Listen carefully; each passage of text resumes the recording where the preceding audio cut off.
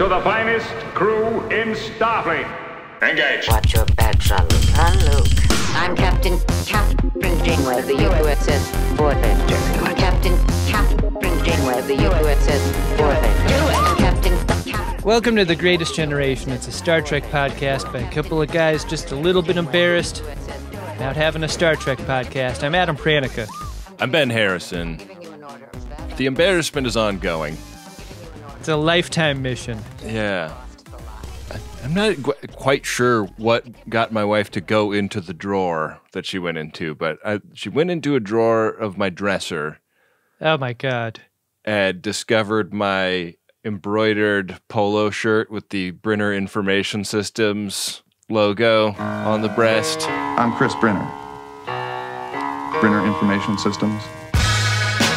You know, interface, operations, net access, channel 90. That Chris Brenner. Wait, you keep shirts in the nightstand? No, in What the, is this? In the dresser. Oh, okay.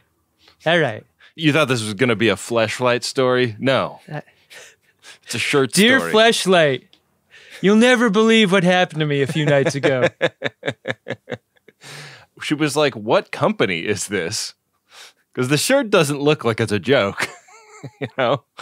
you remember like the Safe Light jingle? Safe light repair, Safelite replace. You know that one? Oh, I You don't watch know enough that. TV to hear that commercial? Don't know that song. Fleshlight should have a jingle. It's like Fleshlight jacks off.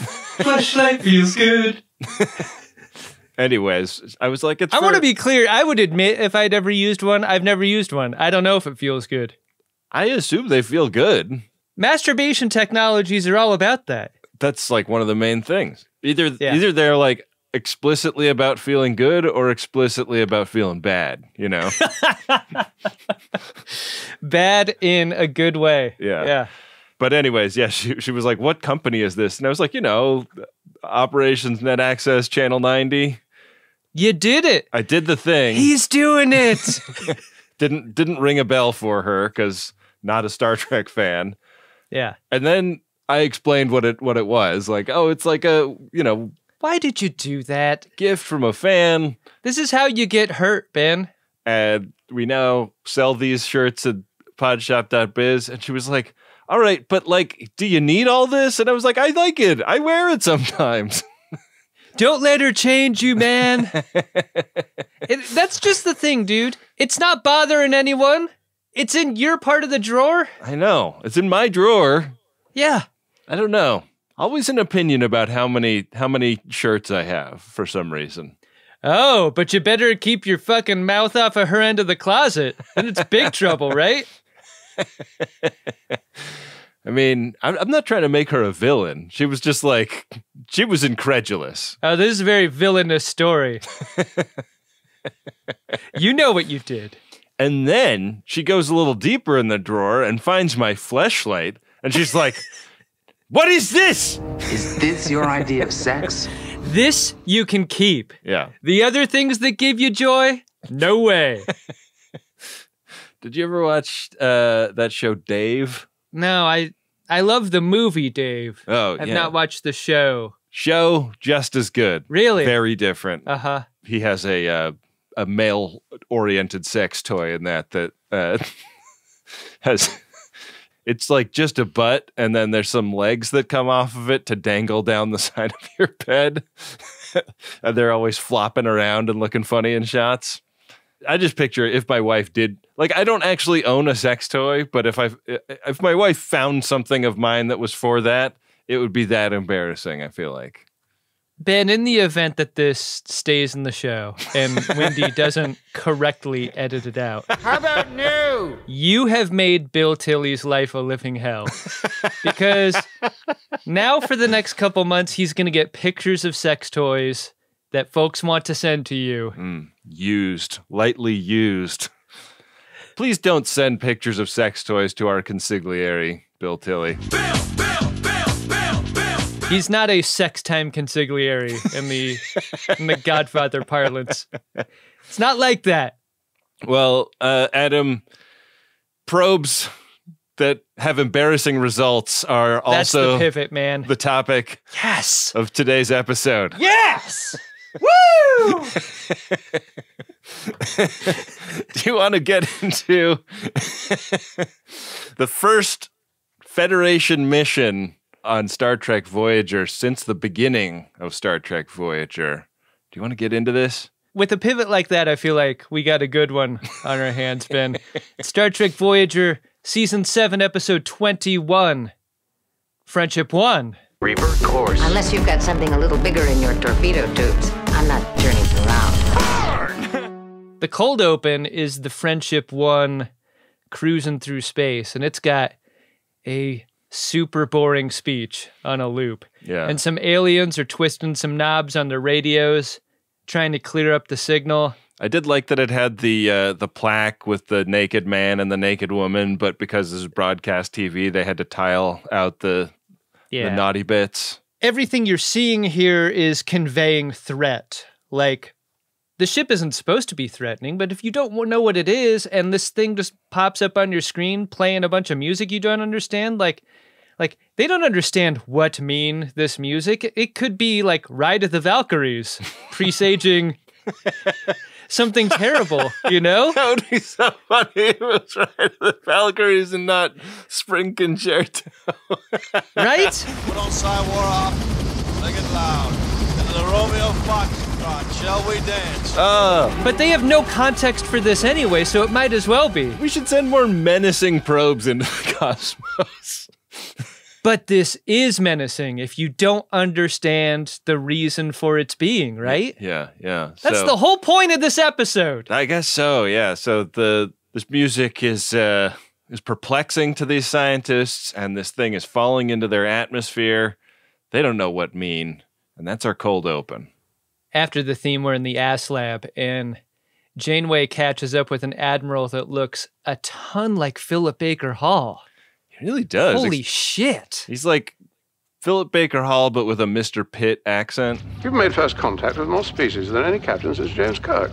If Philip Baker Hall really got into Equinox later in life, this would be that Philip Baker Hall. and she's kind of catching him up on some of the adventures that they've gotten into over the last seven years. And I love the kind of like, I don't know, like it's like an uncle being told by a nephew or a niece about, you know, what's going on at school. Like, oh, that's very nice. you know, Yeah, I don't get the sense that this is really doing it for uh, Philip Baker Hall. I like simple pleasures like butter in my ass, lollipops in my mouth. He pivots the conversation into orders he wants to give to Voyager, and the orders go like this Friendship one flew over the fence into the neighbor's yard, and uh, I want you to go knock on the door and uh, grab our missing frisbee. Did you clock the completely fucked up bad situation on this admiral? It No. looks like he slept in his uniform. What is happening there? he's very rumpled. Is that what you're saying?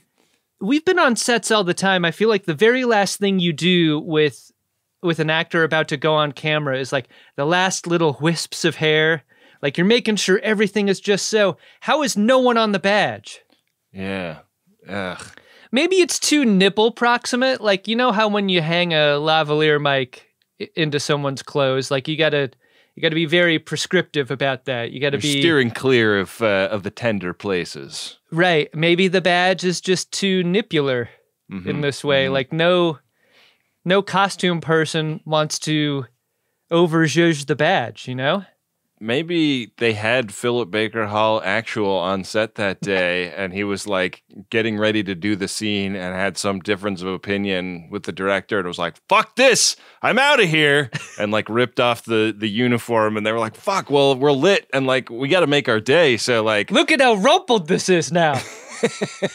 and they just. They just grabbed like a dolly grip that happened to look a little bit like Philip Baker Hall, threw the uniform on him. This guy's got that dolly grip look, doesn't he? Yeah. You can push me on a dolly any day, Admiral. He has the RP accent of every dolly grip I've ever met in the industry. I have my Admiral hat on today, Catherine. Oh yeah. Uh, so they have a McLaughlin group Issue one. where we talk about this mission, and this probe is super famous. something that you learn about in school, something that you memorize the the speech of. Something that could have gotten humanity exterminated many, many times over should it have encountered the wrong alien species. I love this. Our ancestors had no idea what was out here. It predates Starfleet or the Prime Directive. It is like a thing that got sent out very shortly after Zefram Cochrane's first warp flight. This is how we should have brought back Kevin Uxbridge, right? This should have been the fence that this thing flew over. Who's going to get this out of my yard? it's crushed my petunias. I have a kilometer square on a otherwise dead world that nobody visits, and somehow this lands here. How dare you? Imagine the bad luck. My day just got a whole lot worse. so, uh, yeah, they've got a search grid, and uh, they're going to see if they can find a little piece of human history out here in the D Quad. And uh, we cut to the bridge where they're they're doing this search. This is not work that Janeway or Chakotay are on. Tuvok has has the con and is working with Ensign Kim on this. I'm uh, fucking my way through Fairhaven. It's my favorite way of relaxing. You search the grid, Harry Kim, while I search my own grid. I'm told there's a man in a boat somewhere in this search grid, and I'm determined to find him. I think it's cute how much of a tryhard everyone is catching their first mission from Starfleet, right? Yeah. They yeah. really want to do a good job. And uh, Kim is the first to get out in front of this. He's done some extrapolating to narrow their search based on stuff that they know about that Starfleet might not, and it works. They uh, they pull up on a planet that's got the kind of antimatter radiation that they're looking for. Score Harry Kim. Yeah. So everybody uh, heads down to Sick Bay to get inoculations uh, for their trip. And what do you know it? Lieutenant Carey is here. I love what a bump it is to see him every time after witnessing his death, you know? it's such an interesting bit of anxiety that he presents in every scene that he's in. Yeah. Like, he doesn't know. He doesn't know he was dead. but we know. When BLT rolls in to get her poke, Paris takes great umbrage with the idea that that she and her unborn child are going to go into harm's way. And away from the group, they have a discussion. And BLT's like, I need to get out more. This sucks. And Paris is like, well, poisonous atmosphere. So that wins the argument. Yeah, he, uh, he he says, "Do I need to tap the sign?" And he yeah. taps the sign next to the Delta flyer that says, "If you are pregnant or Yeah. think you may be pregnant, do not board this ride." Yeah, that's a persuasive argument to BLT. And so uh, the mission begins. Yeah, I mean, she does extract an agreement out of him that they will swap roles if they go for a second child. He will be the one to carry it. He's eaten Neelix's food, so he knows what it feels like to carry something big to term. Bon appetit. When she says you're carrying the next one, did you notice that he turned and looked at Lieutenant Carey and then like turned back at her? Like, are you implying that it's not mine? Yeah, uh, the term carrying is known among the Voyager crew as when uh, As when you let as when Carey Lieutenant Carey dumps in dump. you. Our course is locked in. Listen to me very carefully because I'm only going to say this once. they set off to a fairly big away team on the Delta Flyer going down through the chop uh, and in over these kind of post-apocalyptic nuclear winter looking ruins on uh, this planet's surface. It's clear somebody used to live here. Yeah, I mean, no life signs at the moment, but there were maybe a long time ago. And Paris sets the flyer down while a bag man watches from behind a piece of rubble. No, you can't trust a bag man. They'll always double cross you. I call him that, of course, because he is wrapped in bags. Yeah, yeah. He he looks like a backup dancer they didn't wind up using on uh, Yeah. the Missy Elliott On the super duper flag. Yeah. Yeah. he didn't watch the landing. He heard it mostly. Either that or like a sweeted Darth Vader Yeah. situation. Yeah, I love the first contact era spacesuits getting brought back out. I loved the boot going into the thin layer of ice in a puddle on the ground. I gotta say, outside of like the actual uniforms that the main cast wears, the value they're getting out of these EV suits, on Voyager especially, has been incredible. Great job. Yeah. Really nice to see them be a part of canon, you know. It's not Mhm. just a one-off for the movie. And um yeah, so they're like they're walking around. It's uh it's Tom Paris, Neelix and uh, Lieutenant Carey walking around. They find a toy that plays like a MIDI version of the Vivaldi song that we heard earlier. Uh, they spot some silos that are loaded with ICBMs. How are you making a toy that looks like a bomb like this? I was on the edge of my seat during this. Like this this reads so much like as soon as the music box stops, like the the clown's gonna pop out and the whole thing's gonna Right. explode. It uh, it looks like the thermal detonator from Star Wars. Yeah. Uh, uh, and yet it's just a delightful children's toy. I mean, I guess they're scanning it with their tricorders, so they would know if there was like fissile material in it in it, right? I guess. It just looks very threatening. It looks like it's for a gothic child. Yeah. In some caves nearby, uh, Paris, Neelix, and Carey have split off, and they find an improvised science lab made up out of some scavenged junk, but it works. It's not just junk. It actually works, and there's also pieces of Friendship One in there. Yeah, they found it right there. So it seems like it's mission accomplished because they radio out to Chakotay and Kim and they're like, hey, we found it. We're going to start beaming stuff back to the Delta Flyer. And Chakotay and Kim are like, cool, we'll meet you there. But right after this radio transmission ends, that's the exact moment where they're ambushed inside this cave from a bunch more bagmen from an Yeah. elevated position. This is like the shower scene in The Rock. Ben, you, you can't give up the elevated position. You're down there! We're up here! As a group, these guys reminded me of the uh, Harkonnen soldiers in the David Lynch Dune Mhm. movie. Oh, yeah. And uh, one of them is also back on the flyer. He's like rifled through their glove box, which Chakotay discovers. I love the idea that the Delta Flyer has a car alarm and that car alarm is going off when they get back to it. it's great. uh, Harry Kim gets bonked trying to open up a closet, and Chakotay phasers this guy, and uh, they start getting hit by antimatter weapons from the surface, and uh, they realize that the rest of the away team has been taken hostage, and uh, Chakotay makes a tough choice here. He decides to bug out rather than uh, sit there and get dead, because then how, how are they going to help the hostages? In many action movies and some science fiction films, you run into this moment. This is the part from Rambo 2 where Erickson decides not to land the chopper. And Rambo's right there with the POW. He's right there. There's men down there! Our men! No, it's too dangerous. They're taking too much fire. So Chakotay uh, takes the flyer away, telling Kim that uh, they're just going to have to come back later Yeah. when it's more convenient. So Paris gets to meet the leader of these bag men. Uh, he's a very bubbly personality and face. He fell out of the meatloaf tree and hit every branch on the way down. this guy got hit with the meatloaf stick.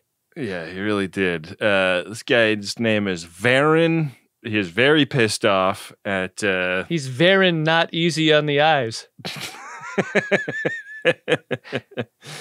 he's very pissed off at them for having sent this probe and uh, and done all the damage that they do.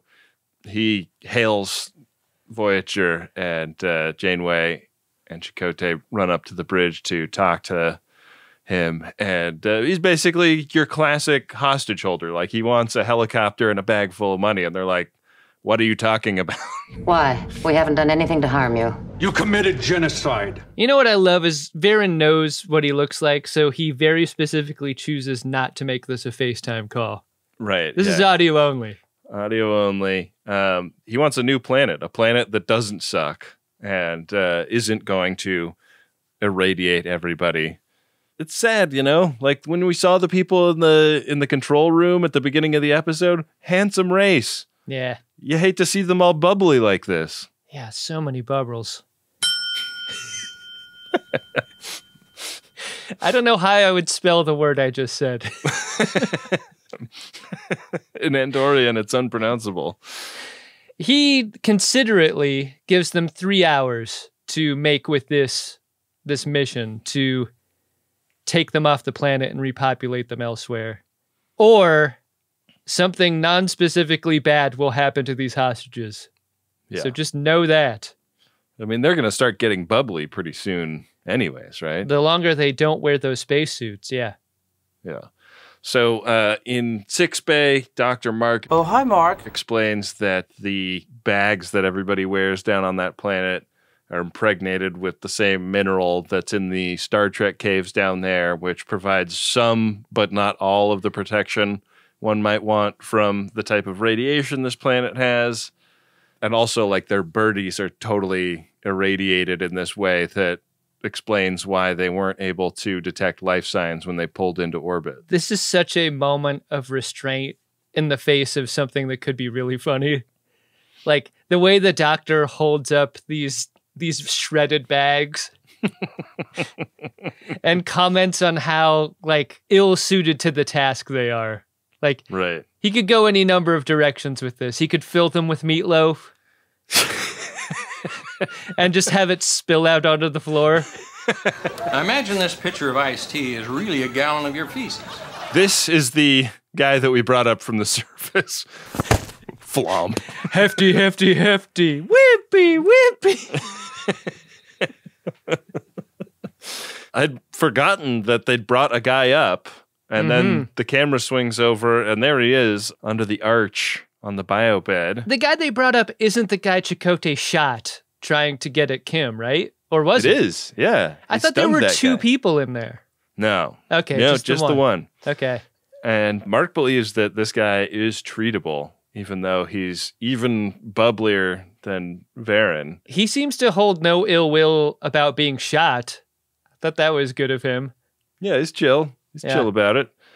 Yeah, so he explains like, "Oh yeah, so before your probe showed up, none of us had ever heard of antimatter, and so we obviously put two and two together that you are the types of aliens that go around uh, exterminating all the locals on a planet by giving them technology that they won't understand." And Janeway's like, "If we wanted to steal your planet from you, why would we contaminate it with this shitty radiation? Like, th- that sucks." Yeah. Look at you. We don't want a planet that makes you look like that. Why would we do that? Janeway was like, I am attracted to all kind all kinds of people, but I'm I'm just going to look in the mi- the middle distance in order to finish this conversation. She's like, How could you think that about us? And he's like, Look at the evidence. And she's like, Oh, God, don't make me look. don't make me look anymore. There are three things to remember about being a starship captain. Keep your shirt tucked in, go down with the ship, and do it. Do it. The story this guy Otrin tells doesn't seem completely crazy though. From his perspective, the idea of like knowledge inspiring you to self Chernobyl yourself Yeah. ahead of some conquering force to come later and, and clean up. Like, Yeah. Uh, Self Chernobyl or, or auto Chernobyl uh, is another way they refer to that. if you don't know anything about anything and this is your first contact, like, you kind of get it. Yeah. I Yeah. can get on this guy's level. I mean, not with how he looks. I mean, my acne isn't that bad. Ugh, God, these guys are really tough to look at. Yeah. Like they kind of give the Vidiians a run for their money in the gross loaf department. If we were going to have a Mr. or Mrs.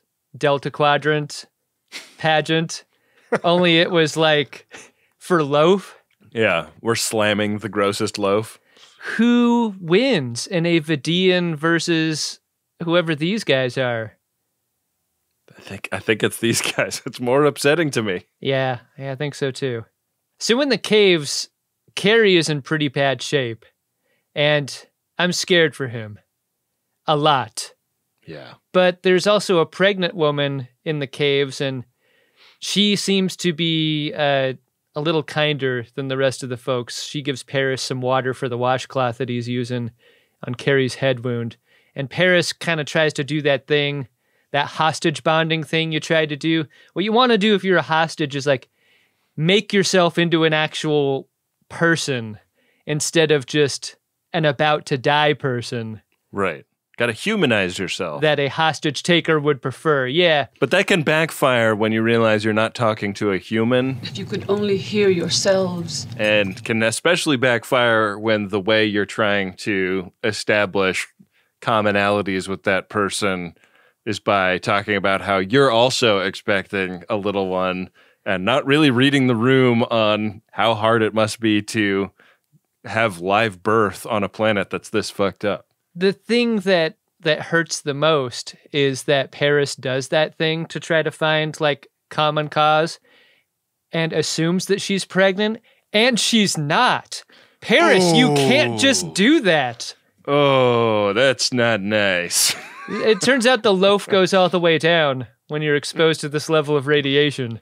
Yeah, it's just another bubble. We're, we're very bubbly because of the radiation, and that's a really particularly big one in a certain spot. God, this conversation is so rugged because it goes down the road so far before the payoff. You see it coming far sooner than yeah. Paris does, though. Like, like Paris is yeah. Almost willfully obtuse in this moment. Am I making any sense here? By the end of it, we learn that this mother has really been through some shit and suggests that, you know, Dr. Mark may be able to help in a situation like this. But before he gets an answer from her, she just turns away after having endured a pretty difficult conversation with a stranger in this moment. In uh, the Ass Lab, we learn that there are about 5,500 people still struggling to get by on this planet. And the closest M class planet that they could move these people to is far enough away that it would take them three years worth of work to take people back and forth, you know, using the limited capacity that Voyager has. And this is just kind of a non starter. Like, we're not setting everything aside for three fucking years for these people, even though this is kind of our fault. Janeway's take is so weird here. She's like, our reputation is already so bad with these folks that I don't want to go in there and like storm the castle and and save the hostages. Like that would just reinforce our reputation. But what the hell? Like these Lofi survivors on the planet, like they're the only ones who believe this shit about the friendship one. Like they're not saying shit to anyone. They're Lofi survivors. I'm a lovey survivor. I love Rashawn. And I want to know why this probe is in my backyard. I'm just supposed to mow around the probe? Hey, the Federation, are you not going to fix your divot? so in Sick Bay, Seven arrives to give some nanoprobes to Dr. Mark. We never really see her extract them from herself, right? She's always coming in from the outside. This right. must be uh, done in private. Yeah. I like that it's like a 12 ounce soda can of nanoprobes, like, or like uh, those blank cans that have nothing printed on them that like yeah. that like really small microbreweries use. I love that. This dude Otrin is uh is like, what did you say you extracted from where? I love this guy. Like, I love a never heard of a Borg and therefore not afraid of them alien. Yeah. Uh, he's just curious about this and uh, is is like super down to get treated for bubble. Mm-hmm. And um, she talks to him a little bit about how this is going to fix him up, and also, you know, I think plant some seeds that maybe this isn't this isn't the place full of ghoulish monsters that are trying to steal your planet. that you thought it might be. Yeah, he seems different from the other guy, that's for sure. Down in the Star Trek caves, Carey is really not doing super well. They've put a band-aid around his head, but they're they're starting to succumb to radiation sickness and um, I guess they're not being allowed to sit there in their spacesuits, which would have been nice. Yeah, they don't get to keep any of their own tech. That's kind of an ongoing problem for the hostages. In the shadows emerges a meatloaf girl. and the group goes into a kind of baby talk with her that is just so grating and patronizing. She does not like this. She does not like uh, that Neelix is different from them. They try to ply her with the kid's toy that they found on the surface, and the second she hears the song it makes, she's like, "No, no, not that song!" This is a kid that's watched Miriam friends die on a playground after playing with these these bomb toys. So Verin, for some reason, has a meeting with Neelix. Neelix, being the chief morale officer and diplomat, decides to uh, try to persuade him that humans aren't so bad. And he would like to negotiate between Verin and the captain in all ongoing communication. It's a real Metreon Cascade game, recognize antimatter radiation game situation. He's like, my planet went through something very similar. Fatal flaw, though. If we talk about this all the time, do not get into a trauma measuring contest with someone who's grieving. Just like be there for the person that's grieving without making it about you. I mean, Verin does ask, is that why your face is like that as part of the conversation? Hey, I noticed you're into foot stuff. Uh, if you take off that pregnant lady's boot, you're going to see some crazy shit down there. some burbles like you've never believed. You know how these negotiations go with hostage takers in movies. Like, they ask for the bag of money in the helicopter, and then the negotiator replies with, like, why don't you free one of the hostages? and we'll get you some pizzas and like a bus ticket. Yep. And Yep.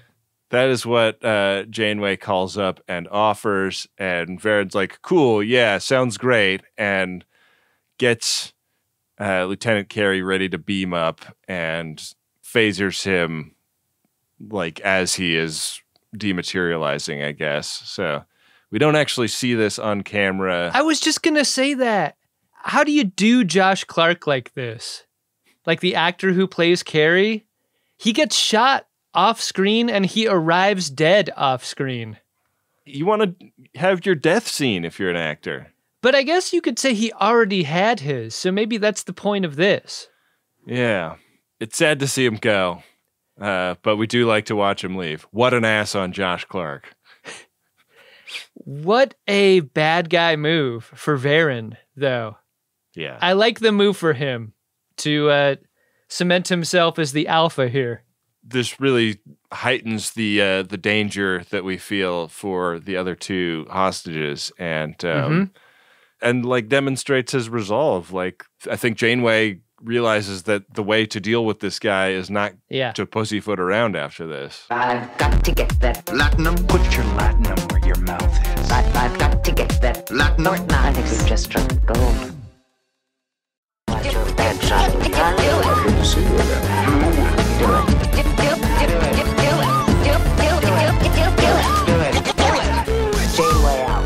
Janeway finally concedes to Verin. They're going to agree to the evacuation plan, but in the back of my mind, I'm like, oh yeah, we'll beam these guys up into the cargo bay and then open the garage door opener on them, blow them out into the fucking space. Pieces of shit. How dare you do that to Carey? Ugh. In the caves, the pregnant woman keeps talking to Tom Paris, and it seems as though she's willing to switch sides. Like, it's a very quick scene, but it's just meant to remind you that, like, she's going to be a figure in all this. Yeah, and that the people on this planet are not a monolith, that Verin doesn't speak for everyone 100% of the time. And that's, I think, further established in this scene with Otrin uh, in Sick Bay. Seven's nanoprobe treatment of him has started to soothe some of the boils on his face. When Otrin unties his hair and lets one half fall across his face, that one half is beautiful. I thought he was just kind of like artsy and weird, but in fact, he's super fuckable. This bet only pays half at this point. My bet? My bet? Am I a fucking bet? Seven tells Otrin the the kind of bad news, which is like, hey, nanoprobes work great for you, but you gotta want the nanoprobes for them to work. And Verin isn't interested in taking them or giving them to anyone else. But you know, a new leader could rise, and half of you could be that leader, Otrin. The good looking part, I mean. The part with Riz. Maybe if you just face this way in all of your speeches. The part whose hair doesn't look like rusty steel wool, I think has a political future. You remember uh, Aaron Eckhart's role as Two Face in the Batman movie? Like, how even though you totally destroyed half of his face and make it look monstrous and and grotesque, like, goddamn, if the other half still isn't Aaron Eckhart, still a great looking guy, like, that could be you. That's what I'm saying. Here, let me pop in this tape to demonstrate. Uh, they talk about the idea of learning from one's mistakes. Ever heard of it, Otrin? Hmm. And meanwhile, uh, down on the surface, Paris is uh, getting roped into helping this pregnant lady with her delivery because uh, it seems like the baby is coming early and he's the most trained medic around.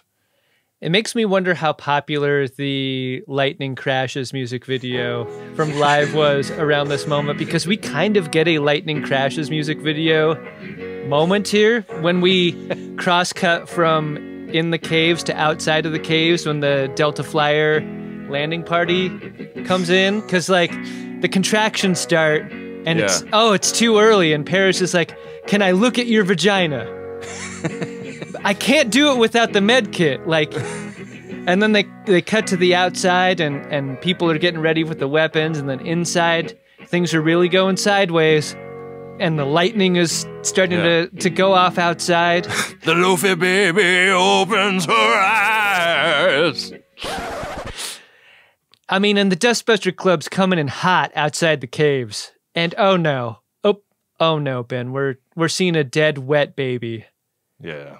This does not look good. It's scary, and like Tuvok gets captured by a bunch of these bag men. They put a clip show device on the baby, and it's like, what clips are there even of this baby? This baby's brand new. What are they going to show it?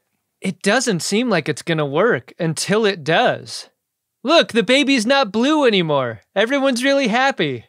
Yeah. And and Tuvok's perp walked in right at this moment, and he's held at at Dustbuster Point by another bag man. But this isn't a bag man. It's the doctor, and they start shooting. Everyone. After they killed the first two guards, they didn't hesitate. Pop guard number three because what difference does it make? Did you notice what Tuvok did? He gets the dustbuster tossed to him, and he neck pinches Verin while shooting another guy at the same time. He's like the raisin brand son in this scene. He's got two scoops of badass getting dropped on these folks. the mother who has like recently given birth it like seems to like be back in clothes and like holding her baby in a way that i was trying to remember when my wife gave birth i feel like i feel like there was a long time in between pushing the baby out and like being ready to like have a conversation with somebody I mean, being ambulatory.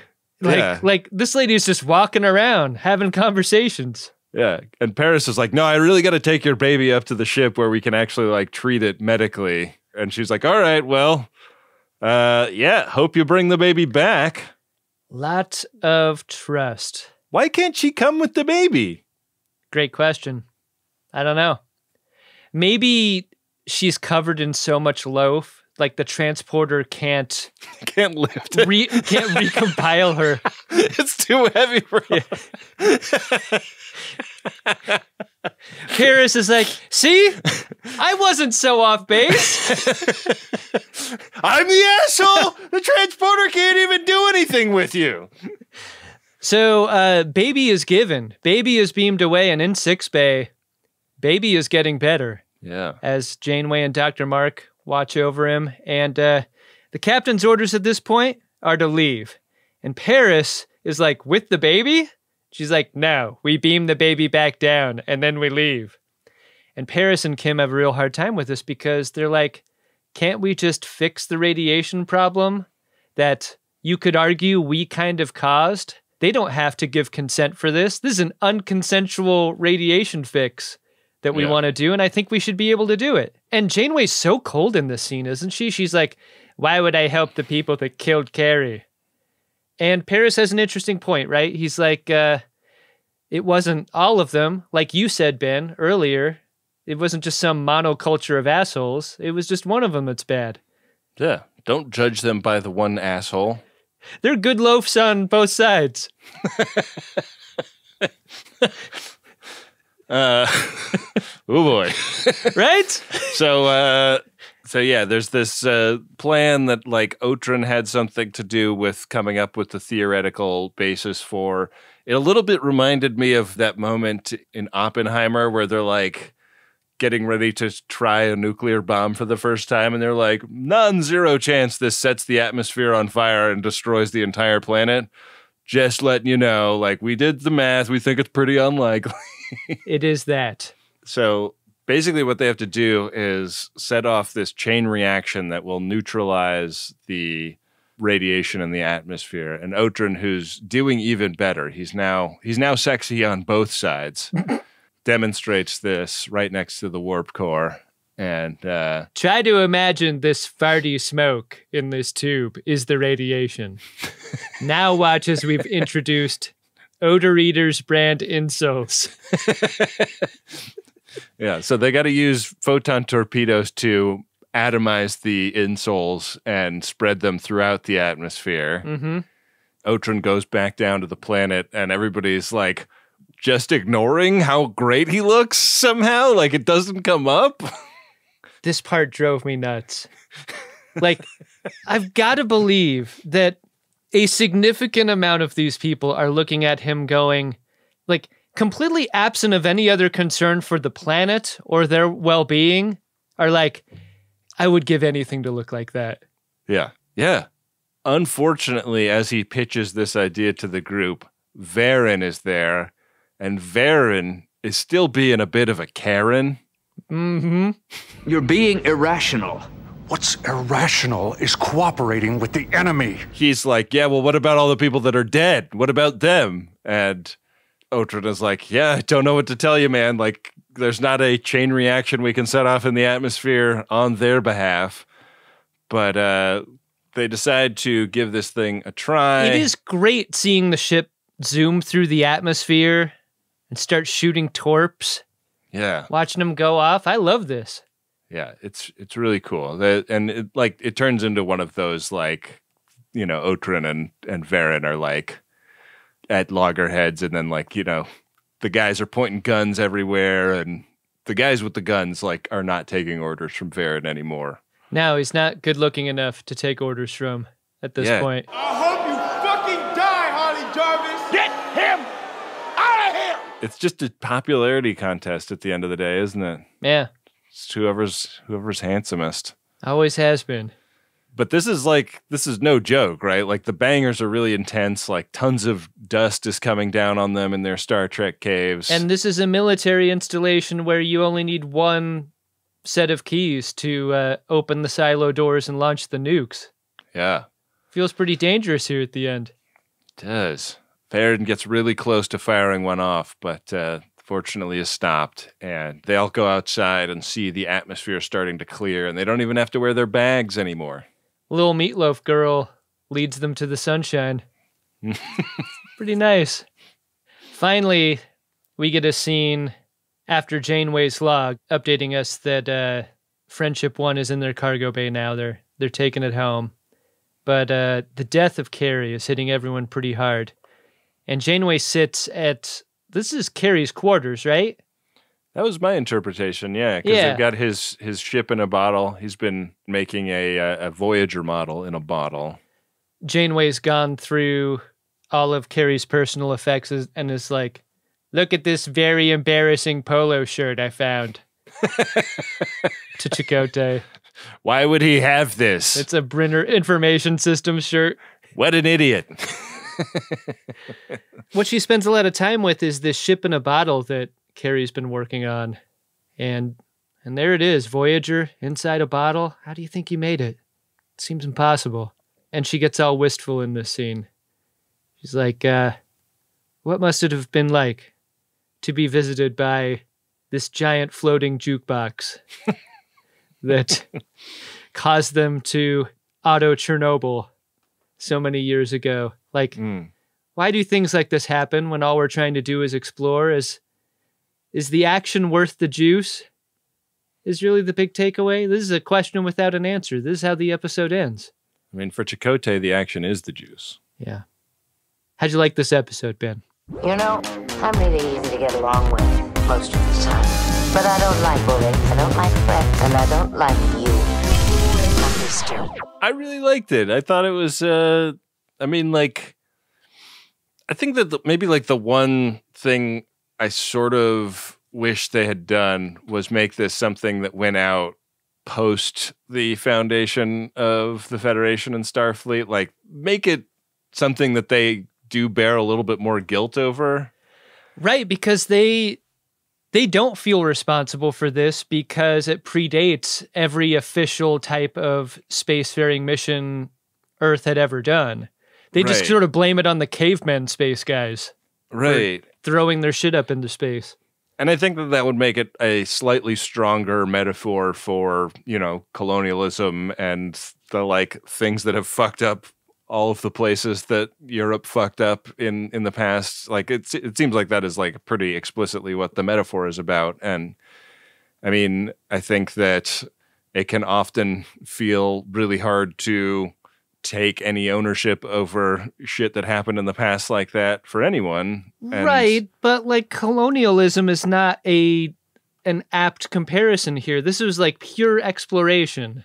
Right. Well, yeah, it was like pure, hey, what's up? We're the Earth. Send us a note if you get this. And but like the the fallout is so is so grave that I kind of wished that I mean, I I I think it makes it a much harder episode to write because so many of the feelings surrounding these things and like the way we grapple with you know the the crimes of the past are are hard issues that Mhm. I don't think anybody has like a really perfect answer for. But but like again, do you, do you really feel like this is a crime? What's happened here? Like Well, that's what I'm saying. Is I kind of wished that they had made that. I, I wish that they had written the premise a little bit more toward Right. it having been a yeah. crime. Yeah, because this is like incident versus intent. Yeah.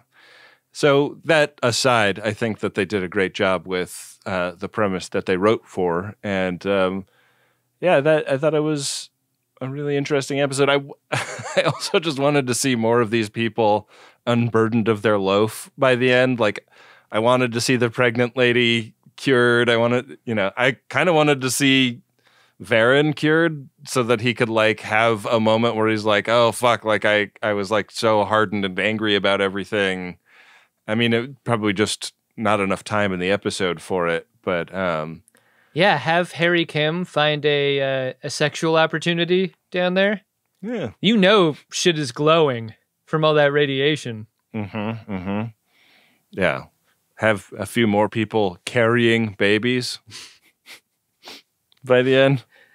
Yeah, Harry Kim's not coming back. You're on your own.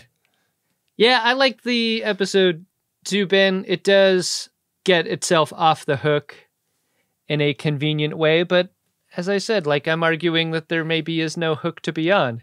Yeah. This is like the the flagellating of the captain at the end, the self-flagellating seems unnecessary, you know?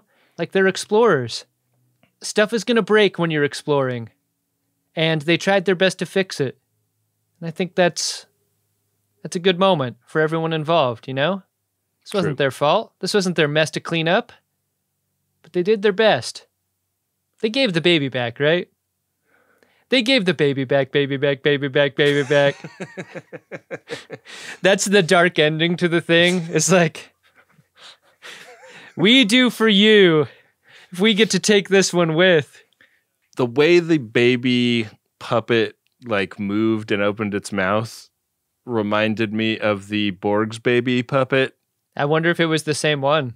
It- yeah, uh, it's like it's close enough that it's like it seems like it's probably the same rubber mold at the very least.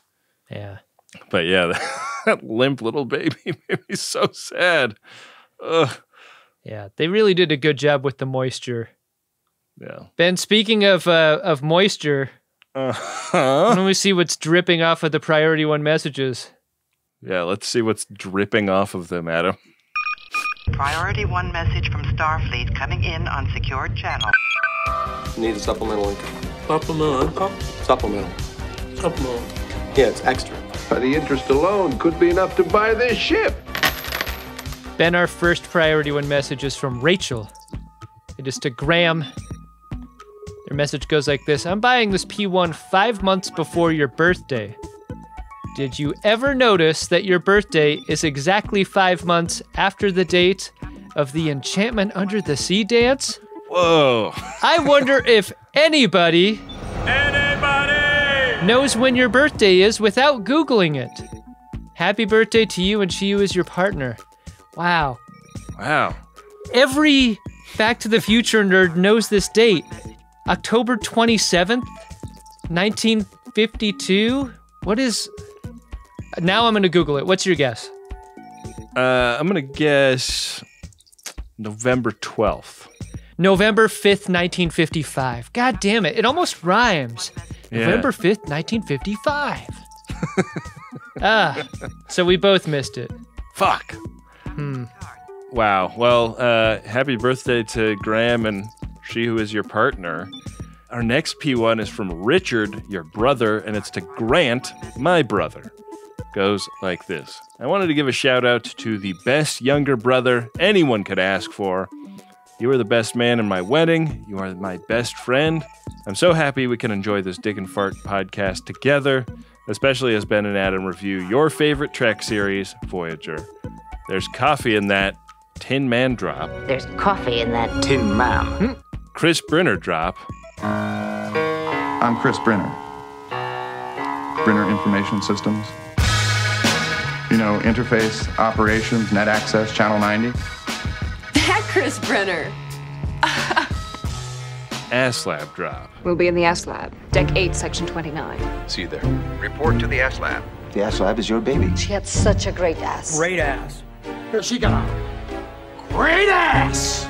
The S Lab requires additional energy. We'd like to enhance the S Lab. I see. Wow.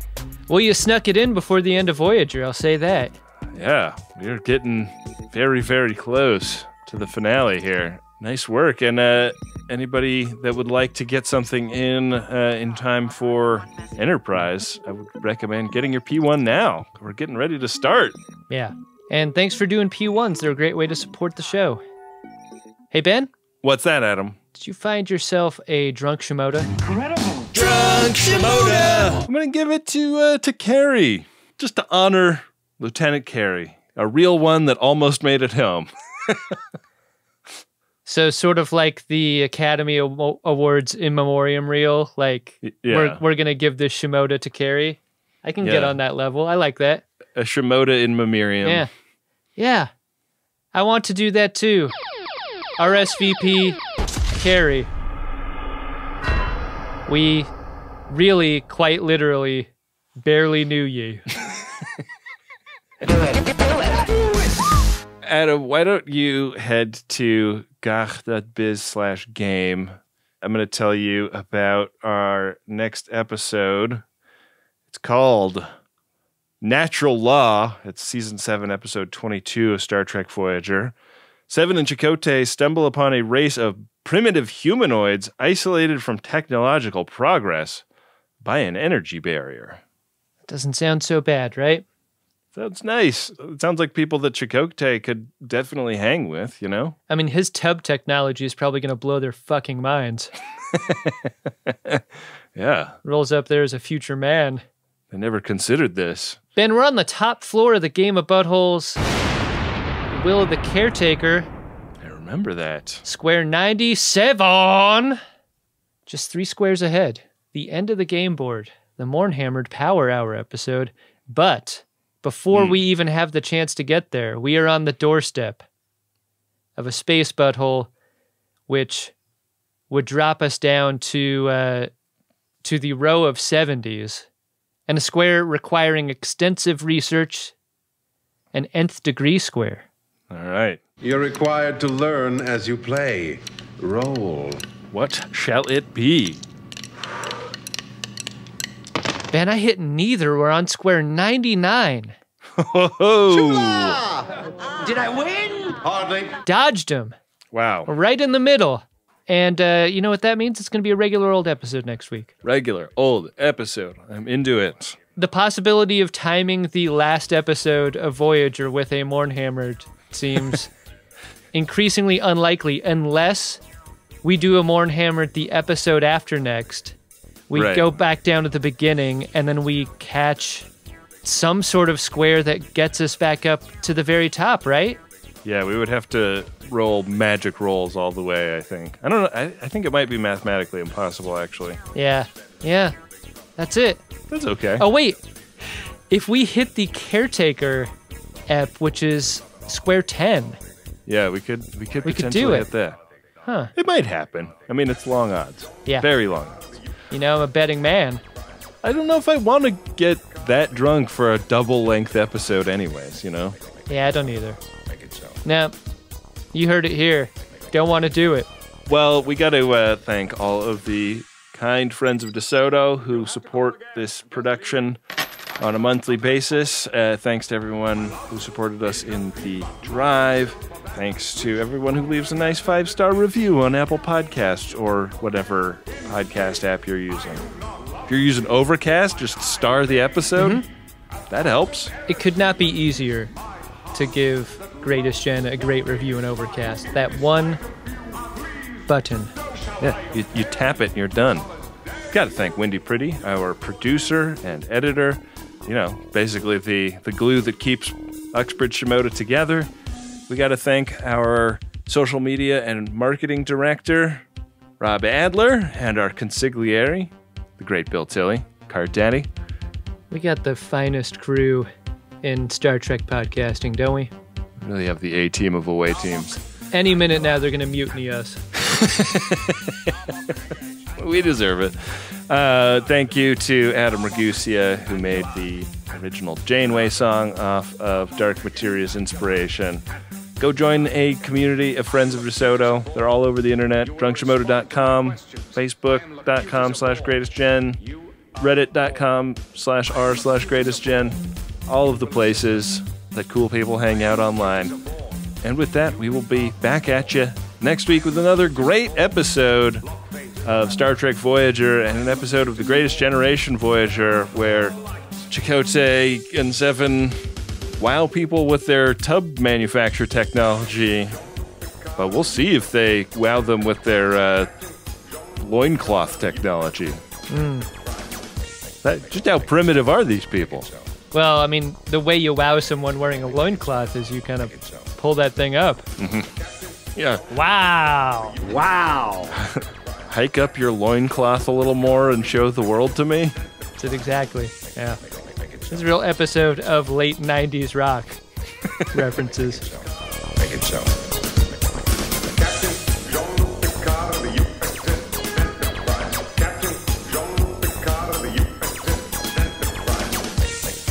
Make it so.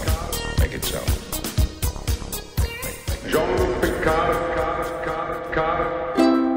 Maximum Fun A worker owned network of artist owned shows. supported Directly by you.